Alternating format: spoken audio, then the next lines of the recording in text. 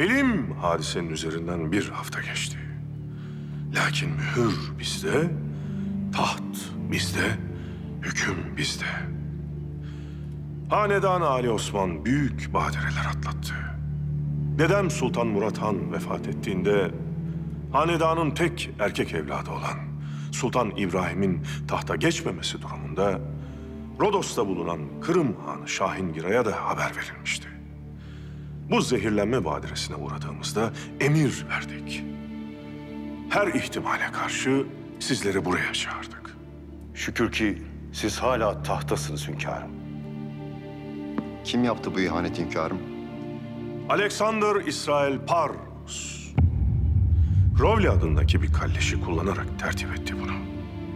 Kendisi şimdi İngiltere'de zindanda. Ömür boyu da orada kalacak. Son tertibiyle beraber silinip gitti.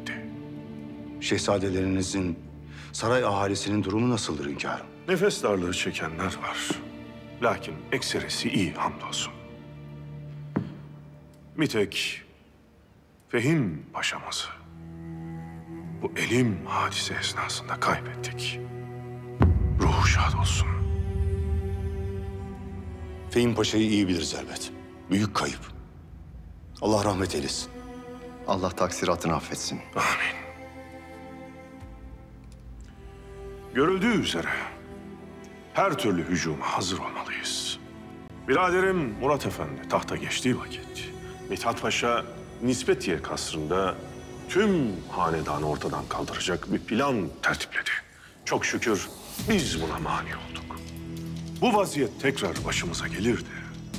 Düşmanlarımız hedeflerine ulaşır da Osmanoğullarından tahta geçecek bir erkek evlat bulunmazsa o vakit Ahmet Tevfik Paşa siz sadrazam olarak yeni bir devlet kurulana kadar hakimiyeti ele alacaksınız. Emredersiniz hünkârım. Eğer Kırım Hanlığı'nda erkek evlat kalmazsa bu işi siz yapacaksınız. Abdülvahit Çelebi. Emredersiniz hünkârım. Bize vurulabilecek en büyük darbeyi vurdular. Şimdi şahlanma vaktidir.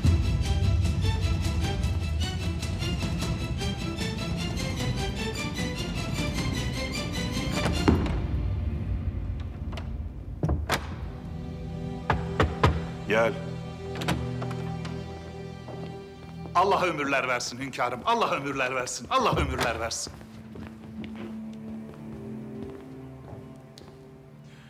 Kaç gündür uyumuyorsunuz Mahmut Paşam? Allah hünkârım. Ne yalan söyleyeyim. İki günde bir buçuk saat uyku uyudum. Lakin sizin o kadar bile uyumadığınız malumumuzdur. Paşalar, devlet her daim 18 yaşında bir delikanlı gibidir. Biz o devletin çocuklarıyız. Biz de genç ve diri olacağız. Topyekün toparlanmalıyız. Bu bize saldıranların ne ilk ne de son saldırısı olacak.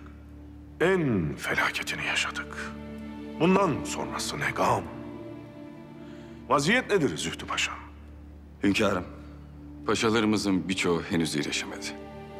Devlet dairelerini müsteşarlar idare ediyorlar. Bu arada yabancı sefaretler geçmiş olsun mesajlarını geç de olsa yolladılar. En son mesaj gönderen kimdi? İlk olarak Alman sefareti yanımızda olduklarını bildirdi. En son olarak da İngiliz ve Amerikan hükümeti. Bizim tahtta ve sağlıklı olduğumuzu öğrendikten sonra. Evet hünkârım. Hünkârım, affınıza mağruren, siz nasıl bu kadar rahatsınız? Yani nasıl metaneti elden hiç bırakmadınız?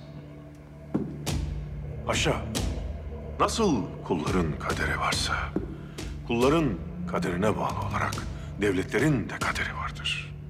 Keder kapımızı çaldı diye devletin kader bağı düğüm olacak değil ya.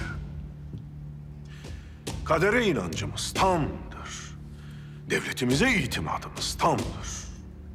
Allah'ımıza teslimiyetimiz tamdır. En güçlüsü kimse o çıksın karşımıza.